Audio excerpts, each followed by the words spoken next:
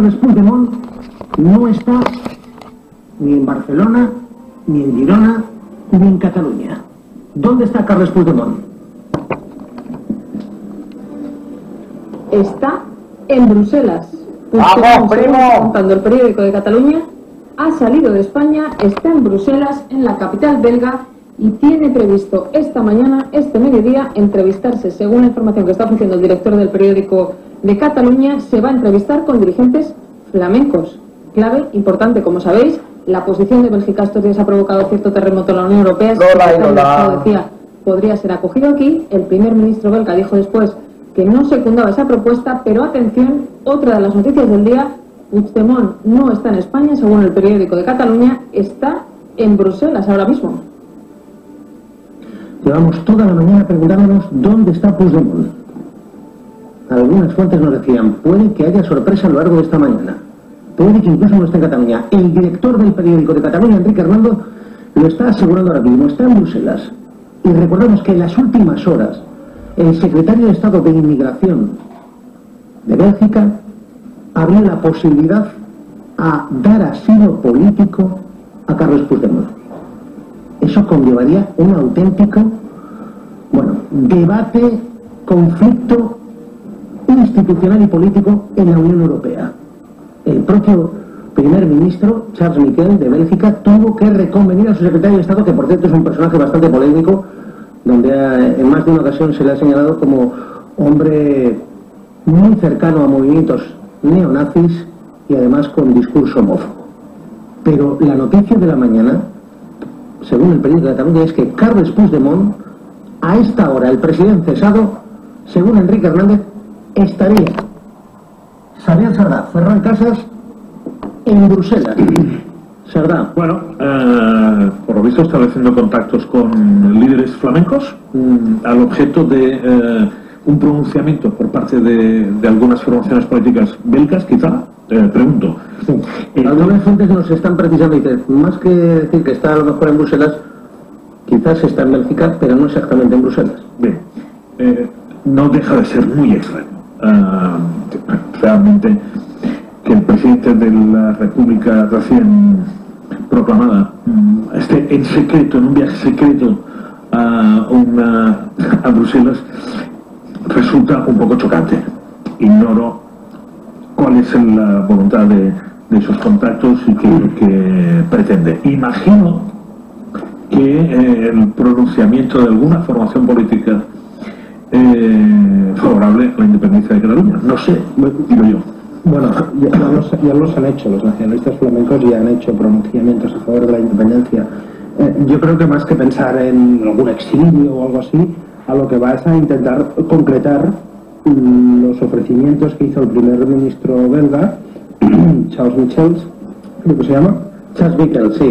Que, que es un balón que gobierna Que gracias gobierna a la nueva alianza flamenca Exacto. y que son los que ayer su secretario de Estado Claro. de Inmigración flamenco con los con Charles Michel le pidió que no calentara más. con uno de los partidos de gobierno en Bélgica para ver esa posibilidad de mediación eh, que apuntó el gobierno belga si se puede concretar la Teo Franken en concreto, Teo Franken es este hombre, es un Secretario de Estado. es secretario de Estado de Inmigración, Pero bueno. per- pertenece, es un flamenco, a la nueva alianza de, de flamenca, que gobierna en coalición con Charles Michel, y que ayer Teo Franken dijo literalmente que Carles Puigdemont puede pedir asilo político. es un partido es un partido de centro derecha independentista digamos que sería un Centro Teo Franken, Teo Franken más bien tiene tendencias Sí, dentro- algo más que dentro de su partido derecha, más, más está, a la más- ultraderecha. está más a la derecha, pero es un partido que no, no, no es ultra, no es el Blams Belang ni el Blams Franken ha, tenido, ha participado en algunos actos pero que no es un, nazis, ¿eh? que no es un partido No es el ultra aliado que yo elegiría para que me protegiera. Bueno, es un partido ni de Mugabe ni Teo Franken. es un partido de derechas que está en el gobierno de Bélgica. Absolutamente. Ahora, si no nos gusta el gobierno de Bélgica, No, a mí no me es gusta. poco democrático, que saquen, Bélgica que es saquen un Bruselas de país. Bélgica.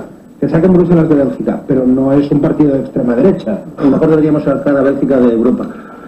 A no sé. eh, a, mí me resulta extraño eh, que el presidente Puigdemont esté, esté fuera de España, esté en Bruselas, por dos razones. La primera, porque, como ha dicho muy bien Pepe Zaragoza esta mañana, en el momento en que se vota en secreto y alguno vota en blanco para protegerse y dejan al país a todos funcionarios, hombre, al menos que el, presidente que ha provocado la situación que esté en, en Barcelona me parecía lo más sensato. Segunda, pretender... Puede estar donde sea, pero No, no, comunicándolo. O sea, vamos a ver, lo que parece que sea un poco caótico. Lo que veo, lo que veo Ayer tendría que haber dicho, mm, me voy a Bruselas sí, con esta gente. Lo que me parece eh, improbable y además no, no, no llegaría a creérmelo Totalmente. es que se haya escapado, para entenderlo, que no. Esto es muy. Bueno. No, no, no, no lo creo. Pero pretender, pretender que el gobierno belga Soluciona algo. solucione este problema cuando la posición de la Unión es clara y la del primer ministro belga también, y pretender que pueda provocar una crisis de gobierno en Bélgica esta situación es soñar, es, no, no estar en la realidad. Yo desearía, por el bien del propio Puigdemont, que ha sido presidente de mi país y por lo tanto respeto personal se lo voy a tener siempre, habré escapado políticamente, pero respeto a la institución que se baje de la ficción y que se ponga en la realidad, que se ponga en la Pero que realidad. esté en Bruselas, o, perdón, o que esté en Bélgica, eh, eh, significa que empieza a asumir la realidad. Si fuera No, para no, bien pero es que la de la pretensión, República, la no pretensión- estaría en Bélgica, es la hora. la presunción de lo que posiblemente pueda estar en Bélgica es tan absurda, es tan absurda. La Unión Europea jamás, jamás ningún país de la Unión avalará una solución que esté fuera de la Constitución española. Porque si entramos en esta dinámica, explota la Unión. quedó en nada porque el tema de Bélgica y Países Bajos lo tengo investigado desde hace unos años atrás.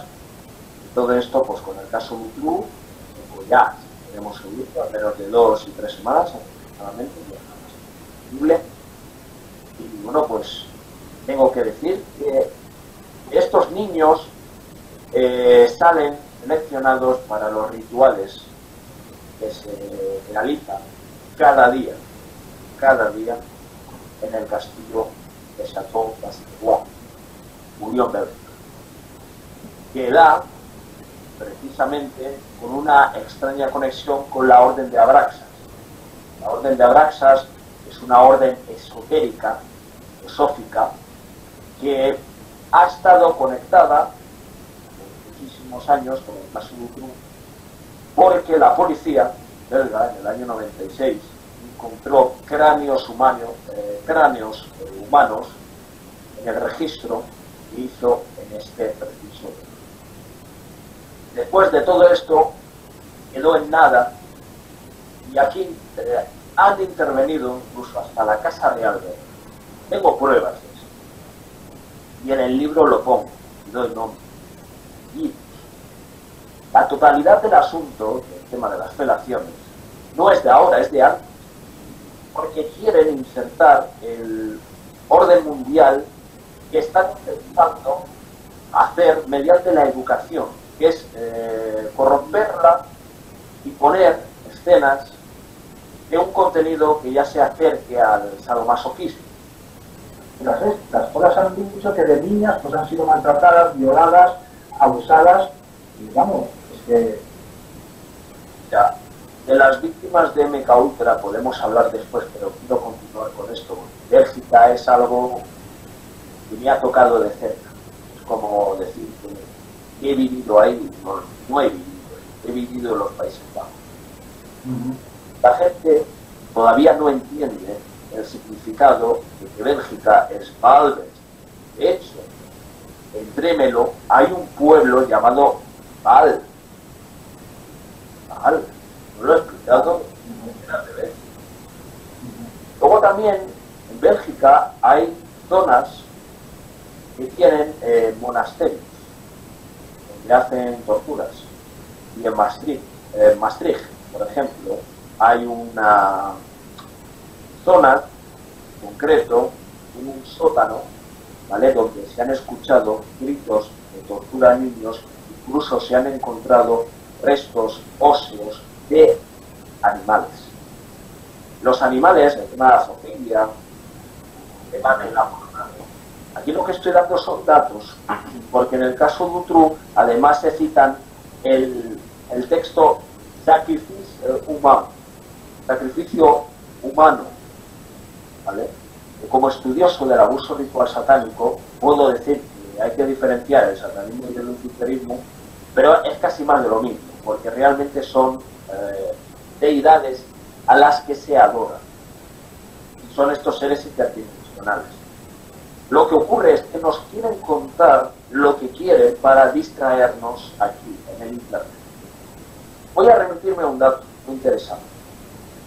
2400 eh, años antes de Cristo, en la mitología egipcia, existía un culto llamado el dios solar de Heliópolis. Y se adoraba al gran dios, junto al sol. Y esto está conectado a Kubaba, reina de Sumer. Esto viene desde Sumer. Bueno, otra cosa importante. Eh, en la masonería, masonería, cuando hacen las votaciones eh, mediante urnas, ponen una cosa que se llama las balotas. Las balotas son las eh, deidades de las eh, energías de positivo y negativo cuando los controlan. ¿Vale? Entonces, la energía blanco y negro tiene que ver con el suelo ajedrezado masón. Y cuando hacen rituales los que están arriba, los de alto grado, está el grado 33 y el grado 99.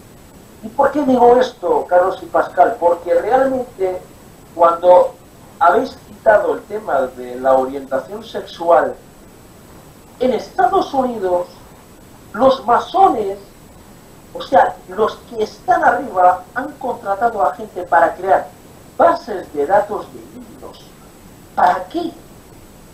Y de hecho ponéis eh, database Masonic Child en inglés. Y os van, a, salir cosas impresionantes.